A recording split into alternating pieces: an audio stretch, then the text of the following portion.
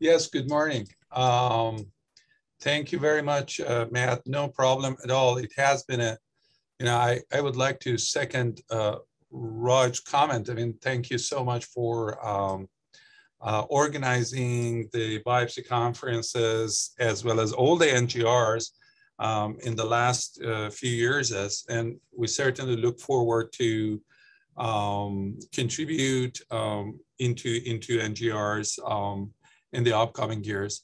Um, so this is going to be the last biopsy conference of this academic year. Um, and uh, so uh, for those fellows who are graduating this year, we certainly um, miss you guys and um, uh, would love to uh, keep in touch. And for those who are staying, we look forward to working together. Uh, so uh, without further ado, I uh, start this biopsy conference because I know that uh, there had been a delay and I don't want to keep people, people um, more than uh, they, they need to. So um, we're uh, planning to present three cases today. And uh, our first case is about a 68 year old woman with microscopic hematuria and proteinuria. And Dr. David Marioma is going to present uh, this case, the clinical part. David? Hey. All right. So this was a uh, lovely clinic patient I had recently, a 68 year old woman who was referred for microscopic hematuria and proteinuria uh, she didn't have a very extensive past medical history, just hypertension, hyperlipidemia, and hypothyroidism. Uh, so she was taking some Synthroid, uh, losartan for her blood pressure, and Lipitor. Um, three months prior to uh, her referral, she had had some left flank pain, which was worked up by her primary care, and her urine had shown some protein microscopic hematuria. So the primary care ordered a 24 hour urine, which showed um, about 1,152 milligrams of protein. Uh, so the primary care doc ordered a CT, abdomen pelvis, which did not show uh, any stones or other abnormalities. Um, I, I, think that was for the microscopic hematuria. Um, and then uh, she also saw an ophthalmologist. Uh, I, I don't really know exactly why she saw them, but um, this ophthalmologist said that her cornea had changes suspicious for amyloidosis. Um, so that was the information I had when she came in. Um, in terms of symptoms, she did report months of fatigue, a general reduction in appetite, some kind of bloating of the abdomen, and she felt her urine was more frothy. Um, so some constitutional symptoms and, and, such, but no other symptoms uh, kind of going through everything else. Um, in her family, father had a history of a stone, sister using a hearing aid, but when uh, she was uh, over 65 years old, no other family history of any uh, renal disorders. And she never smoked. Um, she did unfortunately have a bout of heavy alcohol use a year prior um, due to her son passing away, but now she's kept it to three drinks a week um, and no recreational drug use. Uh, so in terms of objective data, so her blood pressure in the clinic was a little bit high, uh, 145 over 82, but her vitals were otherwise normal. Uh, physical exam was completely unremarkable. Nothing, no edema, no rashes, um, no signs of volume excess. Um, her labs, uh, her basic labs were pretty unremarkable. Electrolytes were all within normal limits. Uh, BUN creatinine were normal at 11 and 0.7 um, checked an A1C, which was 5.6, um, no anemia, no thrombocytopenia. Um, UA was significant for white blood cells, red blood cells, um, urine protein creatinine spot ratio 1.5, and albumin creatinine um, 1080. Uh, on microscopy that I performed in the clinic, I did see dysmorphic RBCs. Um, there were also uh, a bunch of white cells, uh, but no cellular casts. Uh, so serological workup, um, basically no uh, hepatitis B or C, no HIV. Uh, cryo is negative. Complements were within normal limits. Uh, RF was negative, ANA, ANCA titers, PLA2R were all uh, negative. Um, on monoclonal testing, her free light chains were normal um, kappa lambda ratio of 1.15. Um, in her SPEP, she had a faint oligoclonal banding, um, but they mentioned that there was a prominent faint IgG kappa band. Um, in the UPEP, uh, kind of in line with that, an IgG kappa band present at the limit of detection in the setting of polyclonal gamma globulins. And uh, essentially for hematuria, proteinuria, without a clear explanation, um, ordered a renal biopsy. Okay, thank you. So questions for Dr. Marioma or differentials, if you could type them in the chat box or just say them either way would be fine. David, um, do you know how long she's had hematuria and proteinuria for? Is this long standing? Uh, so she had never been tested for, uh, she had never really had any urine tests. Uh, I guess they just weren't felt to be indicated because she didn't um, really have any issues. I don't know if they had checked urine protein a long time ago, but the only urine studies I had access to were when the primary care was working up this flank pain a few months prior. There is a question in the chat box. Was there any raccoon eyes? Uh, no, no, not on my exam. I didn't do a, you know, a real uh, ophthalmoscope exam, but no, nothing um, remarkable on on physical exam of just her her face and and uh, periorbital region. Okay. Uh, in the differential so far, we have 1% dense deposit disease. Any other thoughts, questions? Or shall we move to the to the biopsy and see if we were able to say what that was, the cause. Okay, AL amyloidosis with that faint band. Yeah, both of them are good thoughts. Okay, so let's start. Let's start and see, and also fibrillary glomerulonephritis and IgA nephropathy, of course, with different manifestations and hematuria and fibrillary also um, with hematuria and proteinuria. All of those, I think that up to now are in the differential. Now let's see um, if any of those are present in this biopsy. So as you can see, I mean, a wonderful sample um, that uh, we could wish for, or maybe a little bit more than we could wish for, because there were more, about 100 glomeruli uh, per section. Um, of those, uh, about 100 or more, three to five were global sclerosis and really minimal tubular interstitial fibrosis. As you can see in this low magnification view, not much black stuff in the cortex. So I would say that uh, this patient, in terms of nephron endowment, is likely on the more lucky side. As you know, there is a wide range. And uh, just uh, this is one of those um, mm, assembled pictures that I show you in the last previous slide. And here you see 30 glomeruli just in this single picture. Um, so the density of glomeruli is high, so the patient has good capacity. And uh, when we uh, look at the glomeruli, I think that this picture is, is very representative of, of, the entire biopsy because you see that there is heterogeneity in terms of lesions. Some of the glomeruli, such as this one and this one, and maybe this one, they look fairly unremarkable and bland. Nothing much is going on. And some of them are distinctly abnormal. Okay, so this is a closer look of one of those normal looking glomeruli. You see the capillaries, mesangium is not expanded. Everything looks fine. And while this is um, an example of one of those abnormal ones, in great majority of them, uh, we had uh, endocapillary hypercellularity segmentally involving the glomeruli. So you see that the structure of the capillary walls is, is disrupted um, and we have influx of leukocytes in, uh, in, in those areas. What are those leukocytes?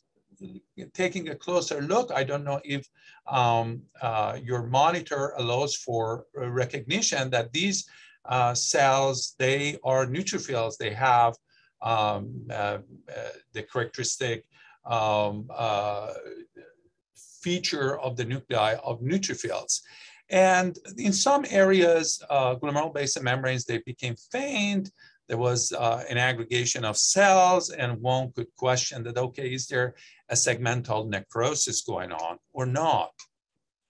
And other examples, this is another one. Again, very segmental involvement of the capillary top by endocapillary hypercellularity, again, questionable segmental necrosis. And this one happened to have uh, duplication of the Bowman's capsule with fibrous tissue filling this space, which one could call this as a fibrous crescent, but we did not see any cellular crescent or any obvious fibrocellular crescent. Another glomerulus, segmental endocapillary hypercellularity with neutrophil influx.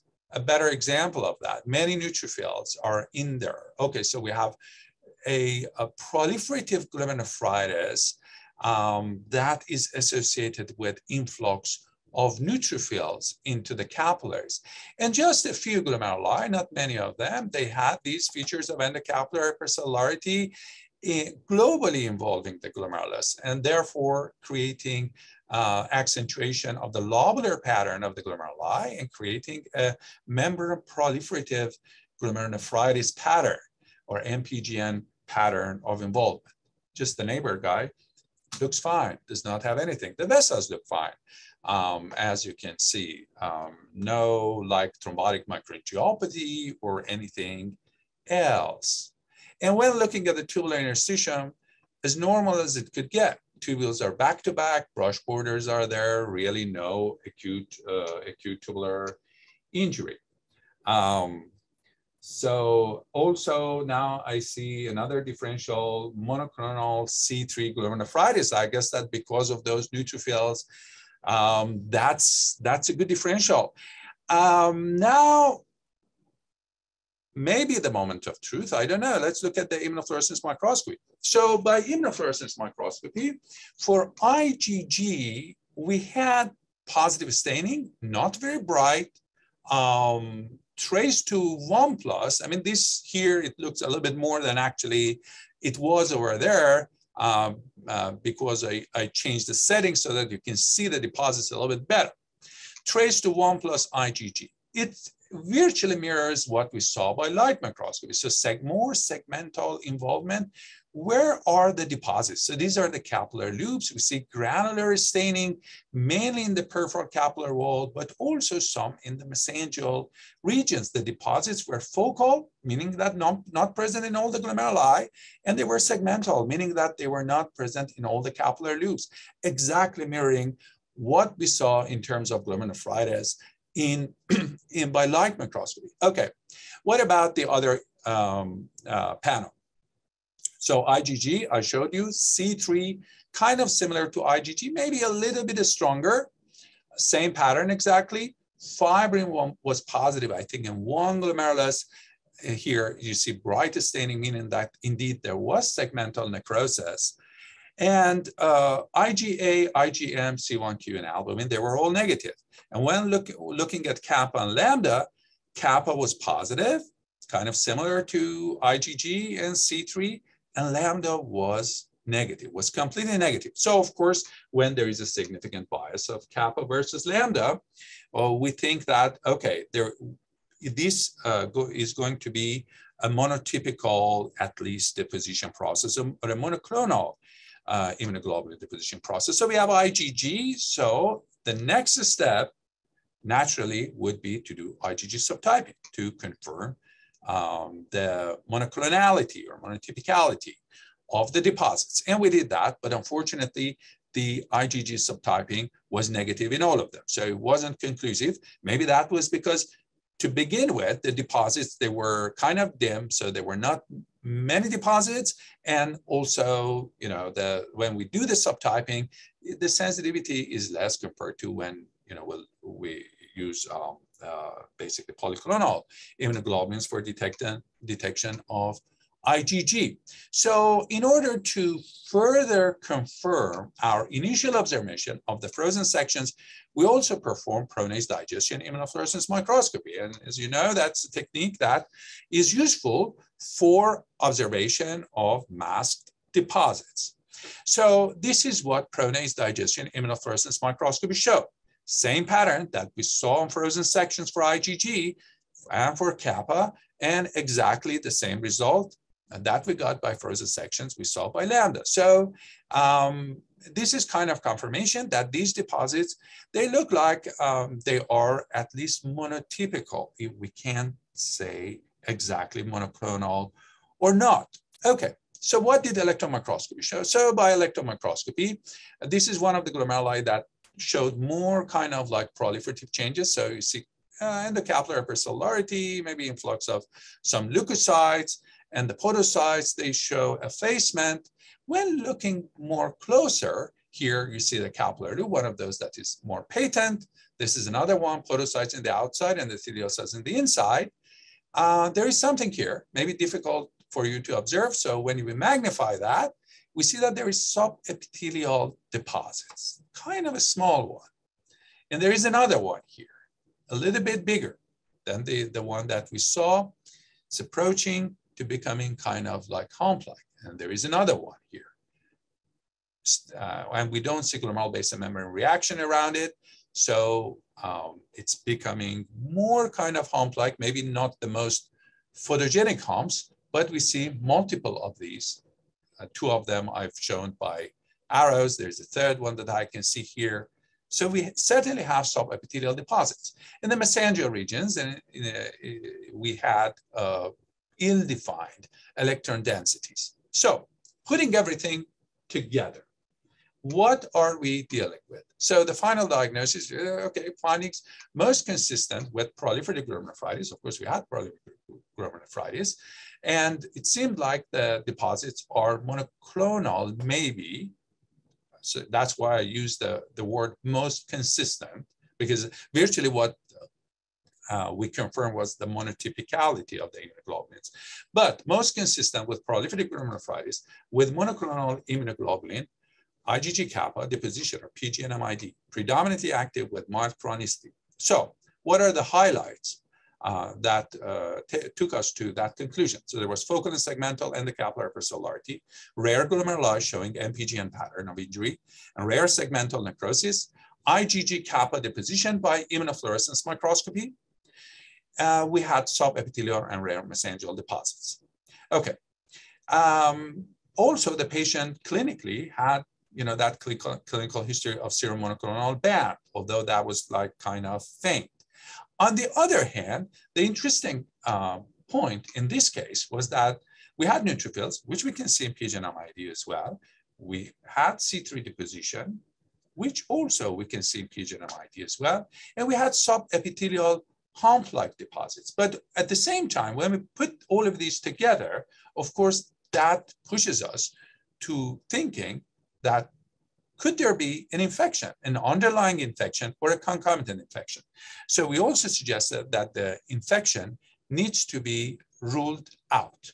So um, we will hear from Dr. Marioma if uh, there is any follow-up about this case, but um, uh, I would like to share you a couple quick slides here as well. So the, this is the, uh, uh the uh, case series from Columbia in 2004, going over PG uh, and MID.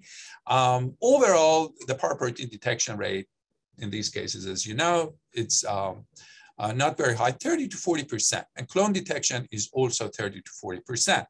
Different patterns we can see. Uh, the most common pattern is diffuse proliferative glomerulonephritis, MPGN pattern, but also you can see membranous pattern of glomerulonephritis. We can see mesangial proliferative. We can see crescents as well. Most of the deposits are IgG3 kappa, and then IgG3 lambda, and then other uh, IgG, IgG subtypes. But what about the infection? Could there be any, any relationship between? So there are, interestingly, there are rare reports of PGNMID. Of course, PGNMID, it seems to me that it's a, it's, it's a kind of heterogeneous um, uh, condition.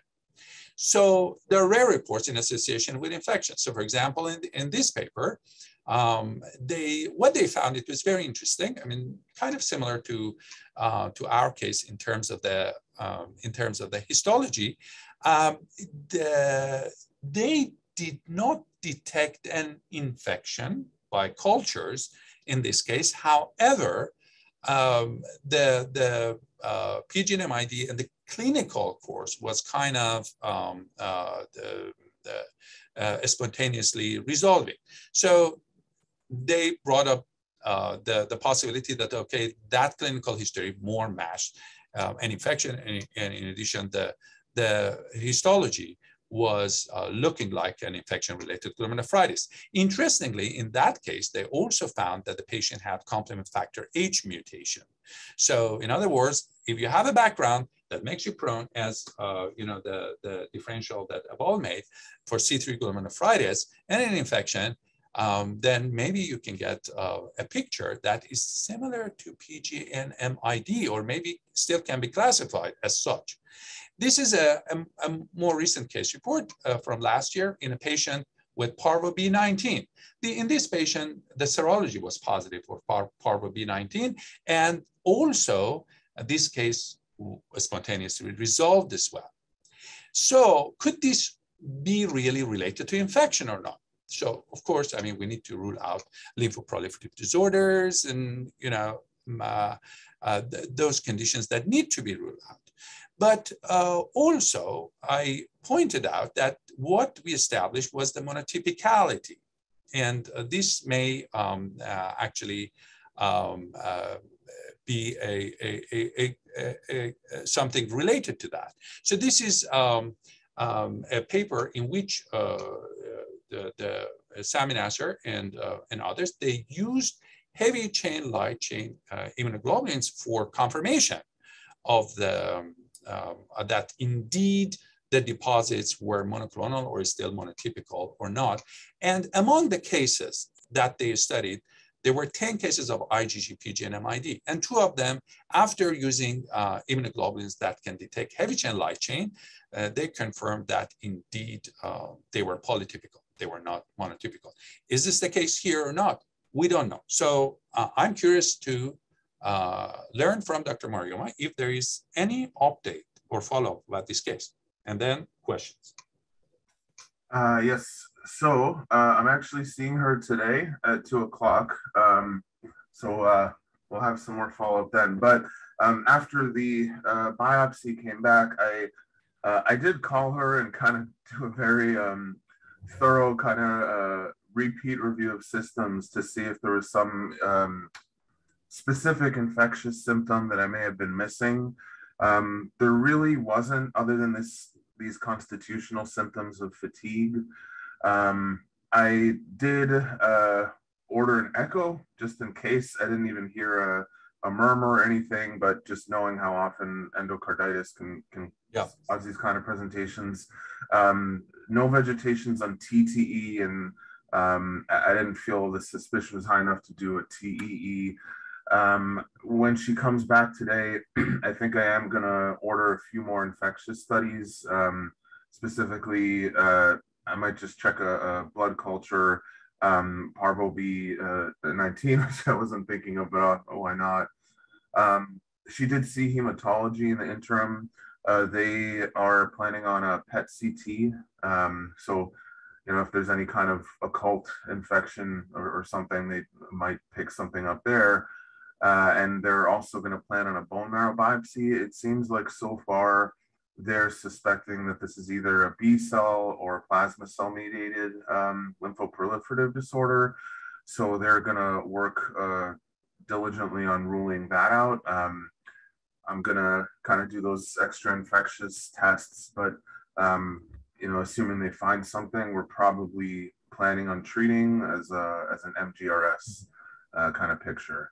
Um, I also asked like if she had been anywhere in the world or you know maybe got exposed to something more unusual like a parasitic infection or but she's just really been here this whole time no unusual exposures or anything like that. Thank you. So Yoshio is asking, can the monoclonal IgG act as an inhibitor of complement factor H? And of course, um, yeah, that's, uh, we, we see in C3 glomerulonephritis, and a component of that, one could assume that uh, can occur in association with uh, monoclonal immunoglobulins that they deposit inside the glomeruli as well. Questions, comments?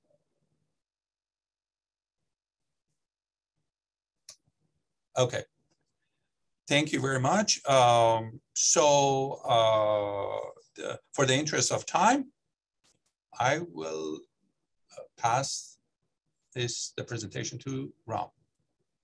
All right, thank you, Behzad. And uh, I again want to congratulate all the, the graduating fellows and to thank Matt again for organizing uh, um, RGR for the last six years.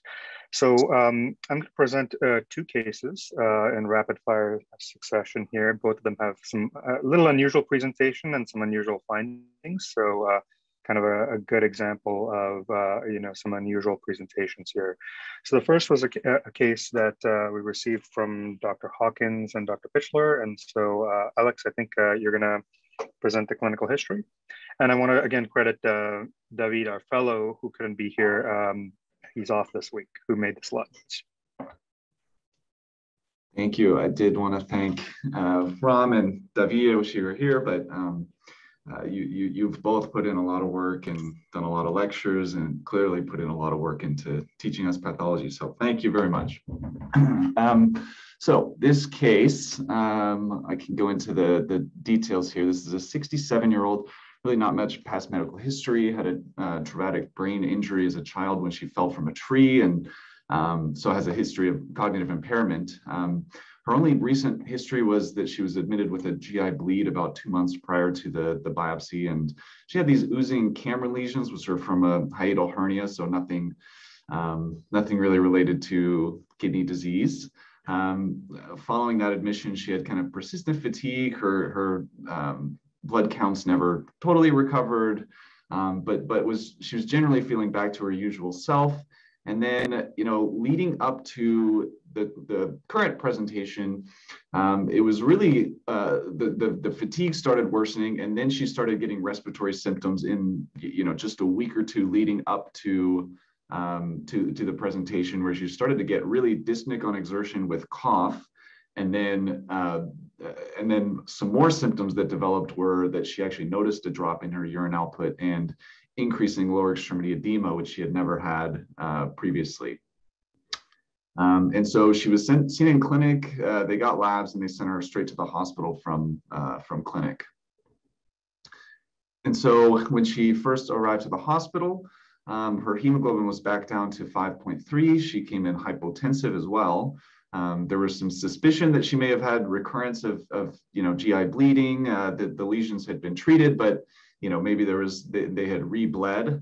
Um, she had a, a creatinine bump from 0.7. Uh, this, so this is within the span of a month that she went from 0.7 to 4 and um, and creatinine just continued to trend up uh, during that uh, during the hospitalization. So they did also some, with all of her respiratory symptoms, they did a chest CT on admission, which showed um, the, the read was diffuse clustered bilateral centrilobular ground glass opacity. So it was most consistent with an atypical pneumonia.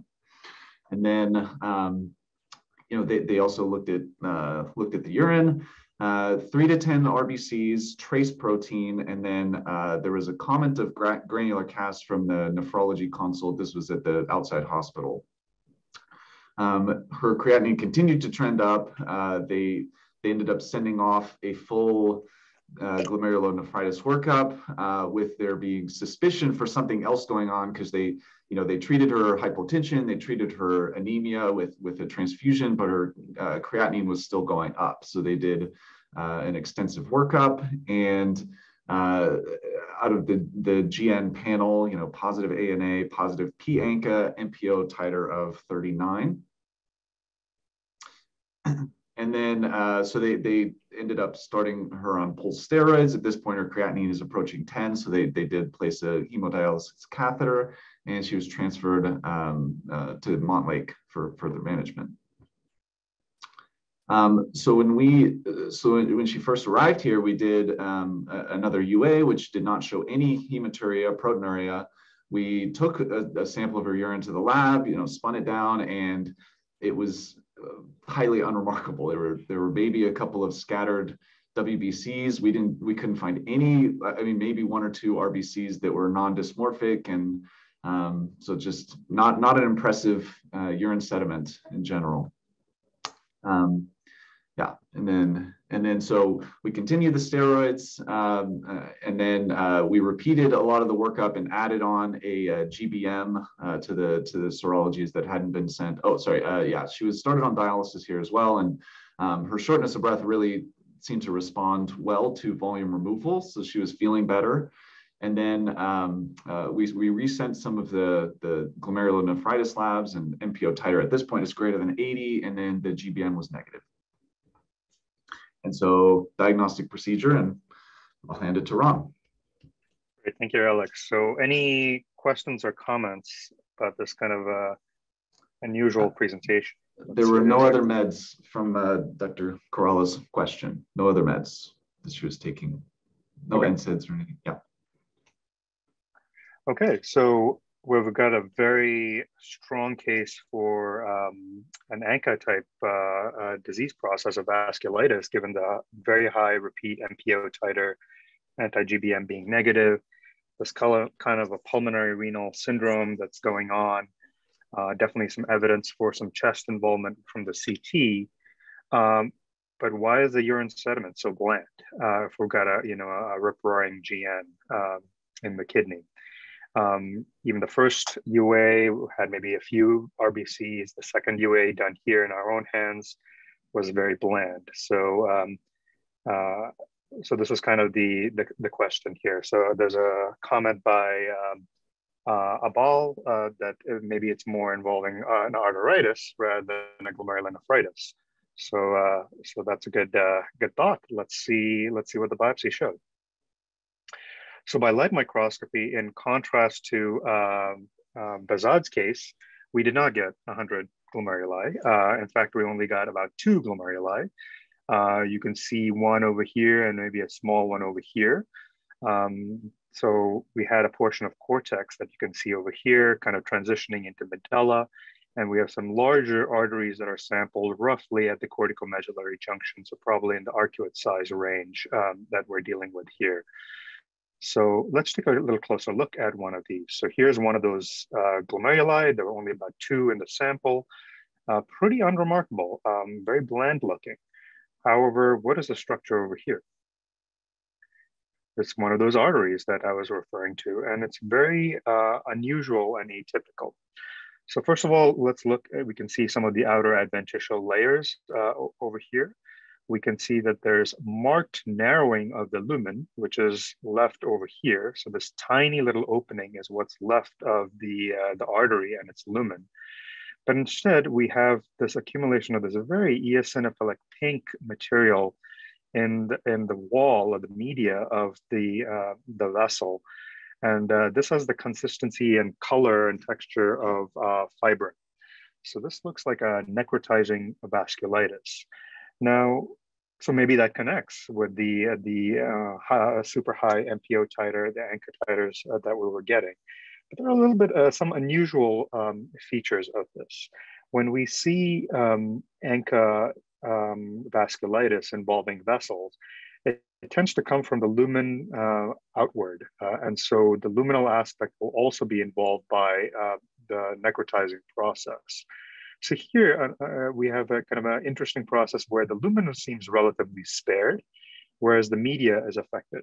Now, some of this could be, you know, the patchy distribution of the, the necrotizing process along the length of the vessel. So maybe there was endovascular involvement at some point and it kind of dissected through the media, and maybe that's what we're seeing over here. But if we look at some at a closer power, uh, higher power at the same vessel, again, you can see this tiny lumen here with a few endothelial cells. So you can imagine the restriction of flow that's going to occur with this dramatic narrowing of uh, the, uh, the vessel lumen. So remember the pressure goes by the fourth power of the luminal diameter. So this is a really dramatic uh, reduction in flow. through this vessel. But we, if we look closely, we can kind of see little whorls or circles um, that are present within this media. And so this is again suggesting that there was actually prior injury to this vessel followed by recanalization. So this is where, you know, the, the body is attempting to reopen uh, a blocked vessel. So there are new vessels that are forming, and it is these vessels that are actually seemingly in, uh, involved by, uh, by necrosis. And this might have been dissected through the entire media of the vessel, causing compression uh, of, of the lumen. So this is a different view of that same vessel in a different level. This is a PAS uh, stain, again showing you know the mark reduction in the lumen. Again, for your reference, is right down here, this tiny little circle. There's a bunch of inflammatory cells that have also made their way into this expanded and highly remodeled uh, uh, media that is undergoing uh, uh, necrotizing changes as well. Now, I mentioned that there were only two glomeruli. Um, the one that I showed you before was unremarkable. We caught another glomerulus, and this was only seen on the H&E stain, which we don't normally show to you because it's very, very pink. But this was the only level where we could see this change in the glomerulus. And what we're seeing here again is the glomerulus over here. If you follow it uh, to this end, this is the, uh, the outflow of Bowman's capsule into the proximal tubule of this nephron. So this is the glomerular tubular junction over here. And so uh, by definition, the opposite end is the hilum, the, uh, the hilar end of the, the uh, or the vascular pole of the glomerulus. And again, here we don't see the normal structures. Instead, we see kind of a mass of pink material, that fibrin-like material again. And so here again, we're uh, invoking that there is a necrotizing um, uh, vasculitis that is involving the uh, hilar arterioles of this glomerulus. So again, we don't have a glomerulonephritis, but it's the proximal vessels that are being involved, both you know, medium-sized vessels and arcuate-sized vessels, and perhaps even uh, um, the arterioles that are feeding into to the, uh, the, the glomeruli. So there's a question from Abal about vasa vasorum involvement. Yeah, uh, um, that's a good idea. It's generally larger vessels, uh, more like the aorta and branch vessels off the aorta. They're going to have vasa vasorum. The arcuate arteries uh, shouldn't necessarily have a vasa vasorum within the kidney parenchyma itself. So that really looked like it was recanalization uh, of an old um, occlusion uh, injury to that vessel.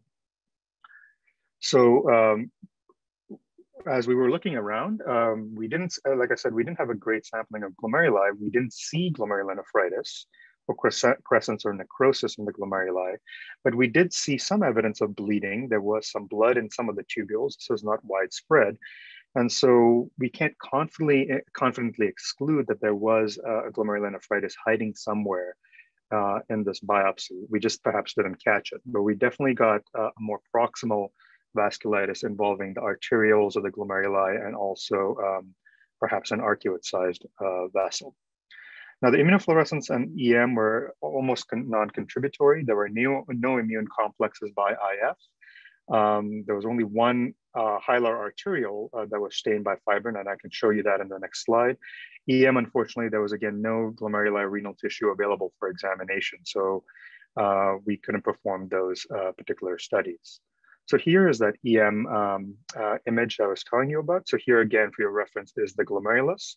Again, we're not seeing fibrin staining of the glomerulus itself, but we're seeing staining at the proximity of the of the uh, the glomerulus, which we are, thinking that this is the hilum, the hilar arterioles that are involved by the necrotizing vasculitis. So this would correlate with that H&E um, stain section that I showed you a couple of slides ago. So our final diagnosis uh, was this was a necrotizing vasculitis that was MPO ANCA associated with involvement of medium-sized artery, at least in, terms of the kidney biopsy reference size, and also some glomerular uh, uh, arterioles. There seemed to be only mild uh, tubular atrophy and interstitial fibrosis in the sample that we got. Um, and so we noted that, of course, there were no glomerular immune complexes. At least we had one glomerulus to rule that out. Um, so this would certainly fit with that high ANCA titer, um, though we were not confident in completely excluding a crescentic glomerulonephritis somewhere else in the biopsy since we were seeing blood in the tubules. We just didn't have a great sample for that. And really, I think this case is a, a good case to learn from because uh, everything smelled like it was going to be an ANCA vasculitis. We had necrotizing vasculitis. It just involved the proximal vessels before, uh, you know, upstream of the glomeruli. And so this would basically shut off flow to the glomeruli, cause an acute drop in kidney function, but perhaps would uh, still account for that very bland urinary sediment um, that uh, Alex and the team uh, were seeing. Now, interestingly, uh, you know, there was another thought that rheumatology was also involved. Uh, there was some thought that this could be a scleroderma renal crisis. I think the anti-SCL70 antibody was uh, was positive. We clearly have necrotizing vasculitis in this case. Um, we didn't see some of the other changes that we think about uh, of scleroderma renal crisis, like the TMA-like changes, onion skinning of vessels. Um, and so this is really thought to be more of an ANCA-associated uh, disease process. And so this has been uh, reported in this uh, opinion piece uh, from about 10 years ago. Um, um, and so, you know, in when we think about the ANCA-associated uh, disease processes, I mean, they can have a variety of presentations. We think about the crescentic and necrotizing GNs as the most common. But of course, you can have extraglomerular involvement, perhaps in combination with the, the crescentic glomerulonephritis. You can also have involvement of the medulla, so you can have a medullary angiitis. And in many of these cases, we're going to see blood in the urine. Um, and so that's going to tip you off that there's an active GN um, that's occurring. However, in rare cases, you can have a very normal or bland urine sediment, as was the case here. Um, and so then there's the apparent disconnect between the serologic studies with ANCA and MPO and PR3 uh, and the bland urine sediment. And as Abal, uh, you know, astutely uh, noted, if there's uh, this is really affecting, um, you know, the glomeruli prox, or you know, if the lesion is proximal to the glomeruli, then uh, they're not going to contribute very much to the blood and the urine at, at, all. And that's really what we think was going on um, in this case. So uh, I'll I'll stop here. And Alex, I don't know if you wanted to give a, a quick follow up. Yeah, um, sure. She she was treated with um, uh, rituximab, um, uh, plasma exchange, uh, and then she is unfortunately still dialysis dependent. Um, urine output has picked up a little bit, but she has not been able to be liberated from dialysis. But the pulmonary manifestations seem to have uh, improved. Chest X-rays sort of cleared up, so some signs of of improvement. Okay, good. Um, so let me get the other case up here. Um, second. So this is uh, uh, a case that uh, I saw together with uh, Leah. Okay.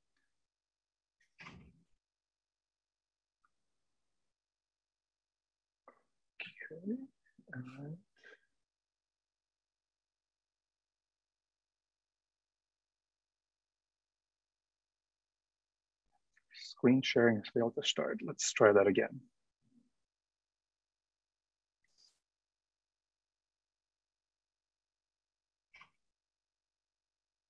Okay, there we go. All right, so this is our second case, or last case actually for the, case, uh, for the day. Um, and Dr. Hazley will take it away with the clinical presentation. Uh, great. So this is a 38 year old man with a polysubstance use disorder, um, paranoid schizophrenia, and cirrhosis secondary to hepatitis C, presenting with AKI and proteinuria. Um, earlier this year, he was admitted to Harborview. He presented with a hemoglobin of 3.3, creatinine of 3.5, and a protein creatinine ratio of about 16 grams. And during that admission, he was found to have a very large spleen, diffuse lymphadenopathy, skin abscesses, polymicrobial bacteremia, um, he actually underwent quite a big workup. He had a bone marrow and lymph node biopsies given the size of his lymph nodes, and these, those were actually unrevealing. Um, his creatinine then increased to five, but he left AMA um, before nephrology could complete their workup. And then he came back about three days later with a creatinine of 5.9. Um, just to go through this quickly, his past medical history, as shown, schizophrenia, polysubstance use disorder, untreated hep C. He did have a history of nocardia skin abscesses. Uh, those are his medications. Um, on exam, he did not make eye contact. He would only say yes or no. He had no icterus. Um, he looked quite chronic, chronically ill. His spleen was enormous. Um, he had three plus pitting edema of the arms and legs and multiple crusting excoriations over his legs. Um, this is a selection of both uh, renally important on the left and more ID, et cetera, on the right. You can just look through the right and see all the many things that were sent, um, working up his splenomegaly um, and um, lymphadenopathy. On the left, his creatinine was at six at that point when we were called. His albumin was 2.3. He was anemic and thrombocytopenic. His urine sediment showed many red cells, a few of which were dysmorphic. Uh, we thought there was a red cell cast um, and there was one oval fat body. Um, labs were notable in red here for um, a low C3 and C4, and his HCV quantitative was close to 3 million. Um, SPEP in particular showed oligoclonal banding, um, but no clonality, and um, PLA2R was negative. A biopsy was performed. Okay, so uh, thank you, um, Leah. So very complex patient, lots of uh, lots of things going on. We've got uh, infection, hepatitis C. Um, uh, we've got you know both proteinuria and uh, acute kidney failure as well. So thoughts, uh, what might be going on? What might we might see on the biopsy? Polysubstance abuse too.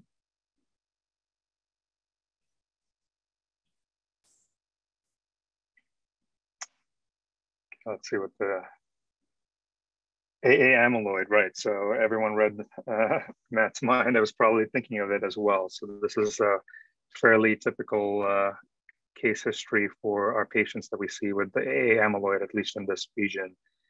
Um, another comment from Abal was C4 is very low, so perhaps classical pathway activation, uh, hepatitis C, MPGN, potentially with cryoglobulins uh, plus or minus. Uh, I think the cryo studies were negative, right, Leah?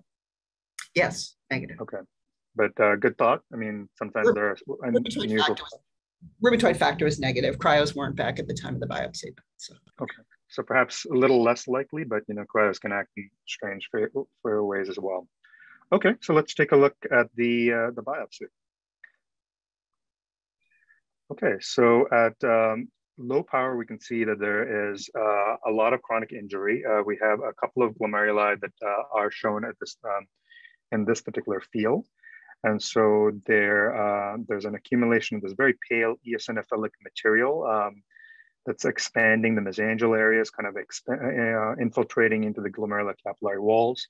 Similar material can be seen kind of encasing the tubular basement membranes, kind of uh, infiltrating into the interstitium. Um, so at higher power, we can see this again. We've got this pink material all over the place. And so as um, as Matt said, okay, uh, AA amyloid. So this certainly looks like uh, amyloidosis. Um, this is fairly common. Why am I showing you this uh, after the very last biopsy conference of the year? Um, well, even though this patient had the you know very typical history for an AA amyloid in, in our region, um, doesn't mean that they can't get other things. And so when we start looking at this biopsy a little closer, sure, there is amyloid, but let's take a look at the glomeruli. Within the glomeruli, the few capillary loops that are patent show inflammatory cells that are coming in. And just like in Behzad's case, the, the cells that are infiltrating are neutrophils. So here's another uh, view of this again, showing the amyloid deposits of the PAS. And again, you can see these polylobate, almost like little black ants uh, uh percolating through the, um, the, uh, um, uh, the glomerular capillary loops. So, so this kind of infiltrated pattern, perhaps, you know, uh, uh, as typical for amyloidosis, but then Abal has another differential here. Could this be infiltration by a fibrillary glomerulonephritis? And hepatitis C would certainly be a risk factor for that. So great thought there. So we would need immunofluorescence to try to uh, um, um, uh, identify that uh, a little bit further. However, we got the Congo, and the Congo here is uh, brightly positive, uh, and it's labeling the presumably amyloid deposits in the glomeruli, the tubular basement membranes, it's outlining some vessels, it was everywhere. So this is still making a good strong case for uh, amyloidosis at this point, though there can be congophilic fibrillary um, uh, cases that those have been reported by ourselves and others uh, they tend not to be as widespread as uh, we are seeing uh, here. This is much more the typical picture for AA um, type amyloid. But is it AA amyloid for this case? This is certainly amyloid, but how can we type it further? So um, first of all, I'll just show you that this is nicely birefringent in that same field. Uh, you can see that uh, it uh, um, uh, polarizes nicely with the typical apple green uh, birefringence. So to evaluate whether this was AA amyloid, which was the leading diagnosis versus something else, we did a amyloid A immunostain. And so we can see again that all those amyloid deposits that we're labeling with Congo now also labeled uh, with the brown stain for uh, amyloid A uh, protein. So all, all evidence is pointing that the, this pink material that's infiltrating everything is um, AA amyloid. And so we look a little further, and again, remember that we had a few glomeruli um, that were showing infiltrating um, neutrophils. We even saw a, a, glomerulus or two with cellular reactions in the urinary space that were very suspicious for crescents, with uh, either you know tubularization here or maybe even a break in the uh, the glomerular capillary basement membranes. And so crescents can certainly have been reported with amyloidosis and definitely with an AA amyloidosis. But we also had a glomerulonephritis that was uh, kind of hiding together with the amyloid um, deposits. So could some of this crescent formation be related um, to that? So that was again, uh, this was not just the usual AA amyloid case. There seemed to be something additional that was uh, that was going on as well. So again, let's take a look, higher uh, power look at these glomeruli. And again, you can appreciate these uh, polylobated, polynucle uh, the polylobated nuclei of the neutrophils, these inflammatory cells that are really kind of stuffing these capillaries, the few that are uninvolved and not blocked off by the amyloid uh, deposits. So, so let's, so we've at least established the diagnosis of AA amyloid. Um, we then proceeded to the immunofluorescence studies to try to understand if there was another superimposed GN uh, on top of the AA amyloid here. So the immunofluorescence was significant for uh, some IgG, which was uh, kind of on the dimmer side, one plus. It was present both in the mesangial regions and also along the glomerular capillary walls. But really the, the most striking, um, um, uh, also there was a component of IgA, which was also in a similar type of intensity to um, to IgG, about one plus. So we have a little bit of IgG and IgA, but the most striking immunoreactant was C3. And this was about three to four plus in intensity, clearly mesangial and also in the capillary walls uh, as well, as you can see over here.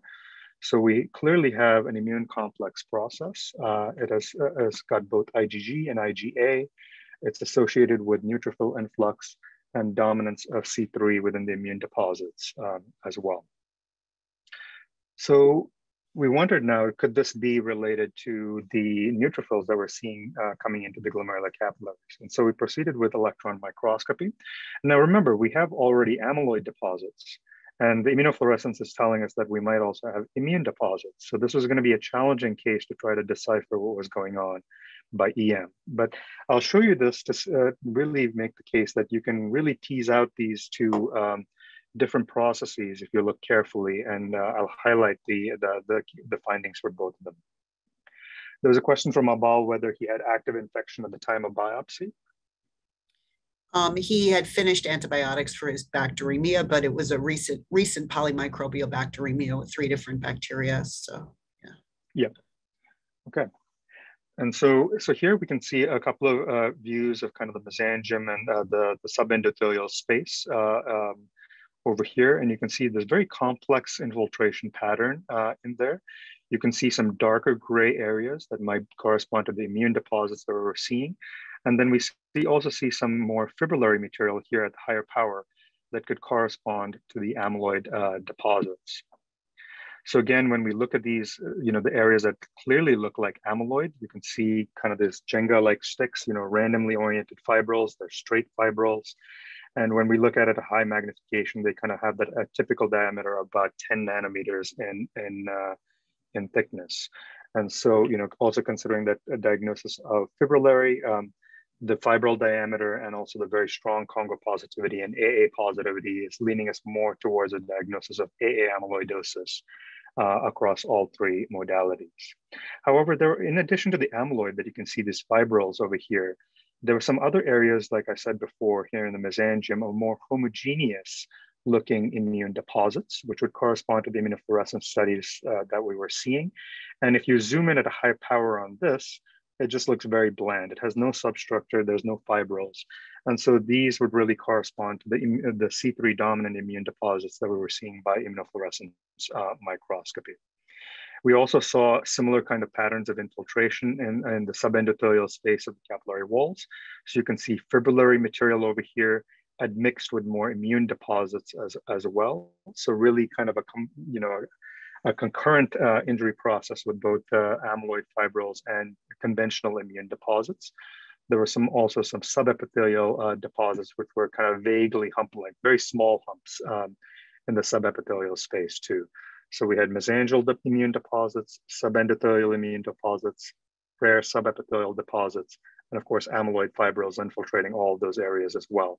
And again, we can see, you know, an infiltrating inflammatory cell, probably a neutrophil coming in as uh, or monocyte over here as well. So again, some of these uh, capillary walls are really markedly uh, infiltrated by these immune deposits. Uh, so we almost started thinking, could this be almost like a dense deposit disease-like presentation? They were kind of sausagey uh, uh, looking in some areas, but in other areas, they had a more conventional appearance of immune deposits as well. Here again, you can see kind of a coexistence of the amyloid fibrils and subepithelial deposits uh, as well. So we rendered a final diagnosis of kind of a secondary amyloidosis, AA type. It was extensively involving, you know, all parts of the kidney. We also uh, uh, noted that there was a recent or ongoing infection, um, and then there's the C3 dominance uh, of the uh, in the immune deposits. Uh, there was a coexistence of kind of IgA and IgG, though much lower than the C3. And so we favored with the exudative presentation that this could be an infection related uh, GN, but also given the extent of the C3 in the immune deposits, given the very low C3 levels uh, seen serologically, and some of the kind of sausagey appearance of some of those immune deposits, there was also a question of could this be uh, C3GN, that it is either being unmasked or uh, concurrent with the infection related GN um, as, as well. Okay. So uh, I'll stop there. Maybe uh, Leah can, here's a quick follow-up here. Um, sure. So his creatinine continued to go up after biopsy to seven, uh, kind of stabilized there, and they discharged him. Uh, two weeks later, he came back in for a drug overdose, during which time the creatinine started to trend down. And then recently, we saw him. He was he did not make it into clinic until recently, where his edema was much improved. Um, he was still using and had purulent wounds on his arms. His creatinine was down to 3.38. Protein creatinine ratio was still in nephrotic range. Uh, his C3 had increased to 46 and his C4 had normalized. So, yeah, so kind of a tough case. So the, the, the jury's still out about the C3 here as to whether, you know, there's still some, there may be some additional sources of infection here. Um, and so, uh, but at least uh, good to know that at least his edema has responded a little bit uh, so far, but very challenging. Yeah. Any final questions or comments? Uh, it makes me wonder a little bit like how many of the patients at Harborview who we diagnose clinically with AA amyloid in the setting of some abscesses and infections may have some some underlying infection related GN as well that we just don't don't ever detect. Yeah. Yeah, no, great point.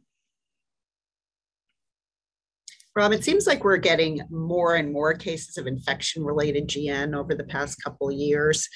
Or is that just um, sampling bias? Have you seen more come through? Or?